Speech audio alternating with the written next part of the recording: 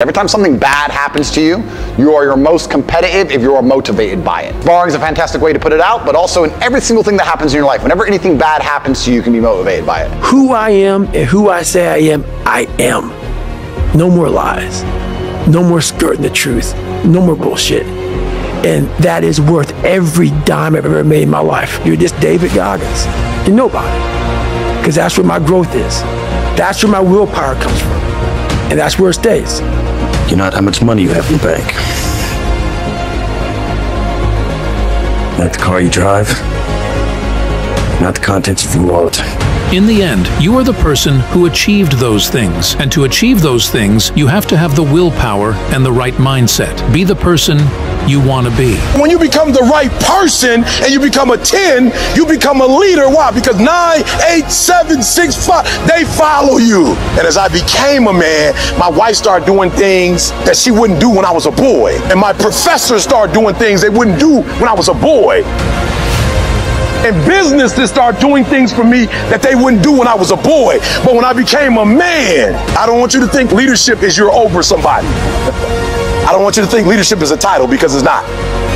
Le- leadership is you become. You don't even want to hear this. It sounds so barbaric. That's the pride in which you have as a man. Is that you see your mom, you see your girl, you see your kids, you see all this shit, you see them doing well. That's all a real man wants. They don't give a fuck about how they dress, how they look, what they're driving. They don't give a shit. Because why? Your trophies are your family, and they're all walking around. Every man that sees you, they they see you walking with some sweatpants and shit, but they know your family's fucking balling because you put the fucking time in, you put the effort in, you put the work in, and as a man, we don't want none of that shit. We just want fucking respect. And that's what men don't give a fuck about now. But the one thing I want is for my family to look at me and say, that's the man. I love everyone more than myself. I love my children more than I love myself. I would die for my brother. I would die for my mother. I, I, love a bunch of people more than myself. In fact, my entire life is putting people above me, putting other people's happiness above me. I believe that's what men do. Men stayed on the Titanic for the women and children. When you're a man, you're responsible for other people's physical and emotional happiness, of course. I wake up every day and work so that other people can enjoy the fruits of my labor. That's all I do. Every single person I love, in many ways, I love more than I love myself. And I think that every man who is capable is exactly the same. It's all in your mind. Whatever you hold in your mind will tend to occur in your life. If you continue to believe as you have always believed, you will continue to act as you have always acted. You will continue to get what you have always gotten. If you want different results in your life or your work, all you have to do is change your mind. Make up your own mission statement. What do you want to be in life? And once you do that, now you can work with somebody to get better. You can work with yourself to get better. But until you know what you want to stand for, you will always just be sitting down. You'll never stand for anything. They're trying to say to people effectively, you'll never be anything. And you don't stand a chance of ever being anything. And I think that that makes people who aren't anything feel a little bit better about themselves. It's cope. If someone were to come to me and say, Andrew, you're mixed race, you're from a single mother household, you're never going to be rich, I'll say, watch me. Corinthians 15:58. You lack focus, not potential. You lack consistency, not ability. You lack strategy, not resources. You lack discipline, not opportunities. Like I believe in life, you got two separate people. You got champions, right? And they go through things in life that are self-inflicted. They bring it upon themselves, they get through it, they say, man, I got through it. And then you got warriors.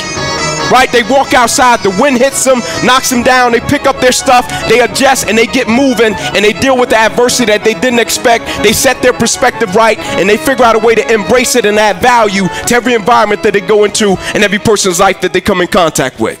I want you to take it personal. And my personal question to you is why not you? You've got the brains.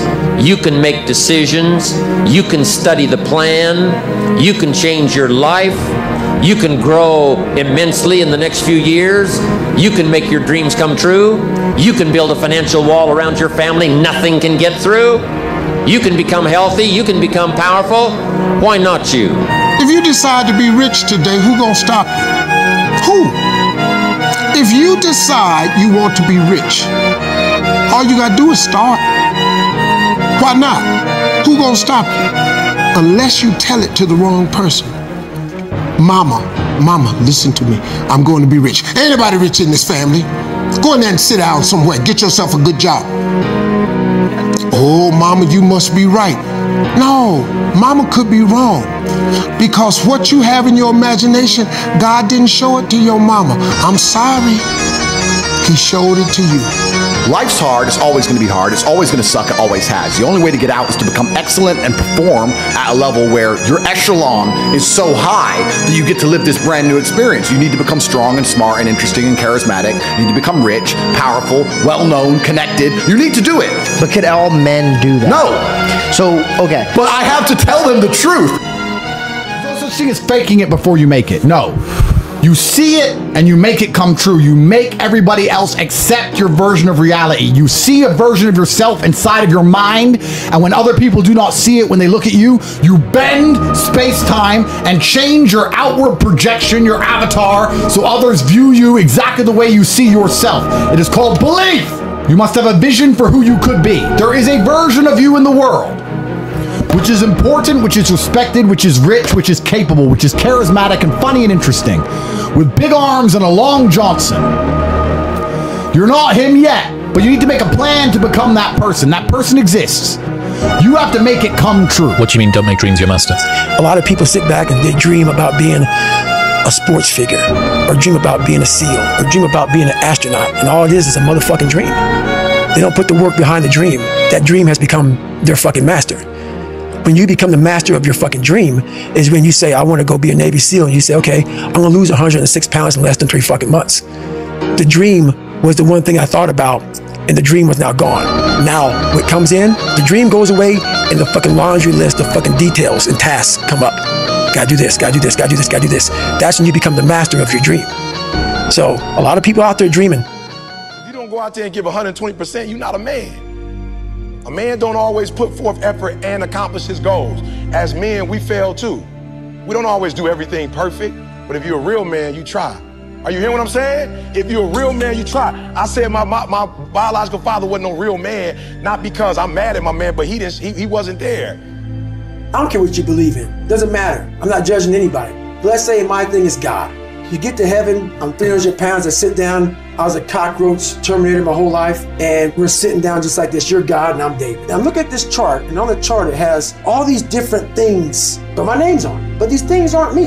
I was gonna change the world. I was gonna set records. I was gonna be a Navy SEAL. I was gonna be honored here, honored there. And I'm like, God, I was, this isn't me. Like it says David Goggins, I was an Ecolab guy, I sprayed for cockroaches, and I'm 300 pounds. It said here, I'm 185. And God goes, no, that's who you were supposed to be. My biggest fear in life is that there is a final resting place in this world, and there's a final judgment, and you talk to something much bigger than you. I don't want to sit down and have a conversation with someone with something that says, You're in heaven, this is what you should have been on earth. Don't be upset by the results you didn't get from the work you did not do. Don't be upset. I don't want you to be upset. I don't want you to be angry. I want you to be like, I didn't get the results because I didn't do the work.